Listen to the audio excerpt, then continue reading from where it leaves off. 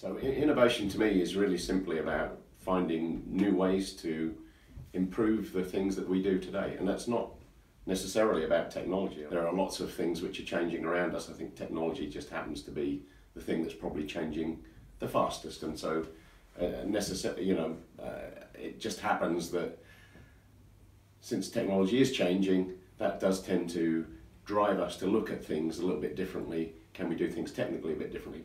Doesn't have to be technology though. In fact, we're looking at can we use dogs to detect leaks as, a, as an example of something that's very non-technical, uh, if I might say. I think it's always interesting when you bring new people into the organisation and they look at an old thing without perhaps the same considerations of constraints uh, as we do. Uh, and so people who have a fresh pair of eyes, I think they're often a great source of innovation.